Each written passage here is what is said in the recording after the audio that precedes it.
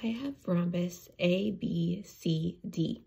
In our hands-on activities, we learned that rhombuses have four equal sides, and since they are a parallelogram, they have opposite sides are parallel, and opposite angles are congruent. Another property of parallelograms that rhombuses have are that the sides in between the parallel, sorry, the angles between the parallel sides are have a sum of 180 degrees. So if we know opposite angles are congruent, that tells us the angle D is equal to 76 degrees. And then the sum of angle C and angle B equals 180 degrees.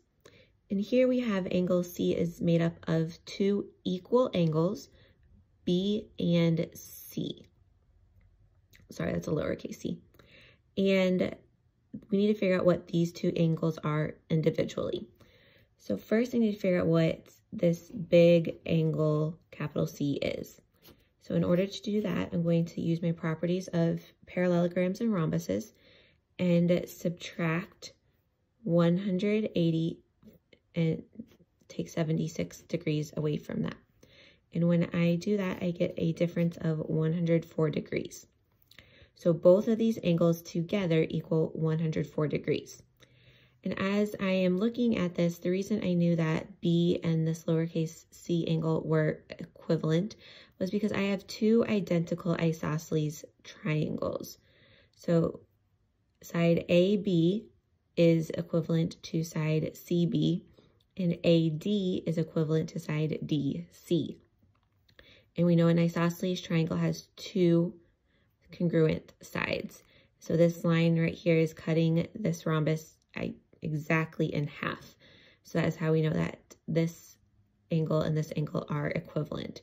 So if I were to draw a bar model to help me, I would know that the lowercase c angle and b are equivalent to 104 degrees.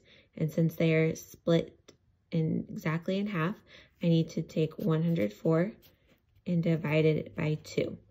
And when I do that, I get 52 degrees. So the measurement of angle B is 52 degrees.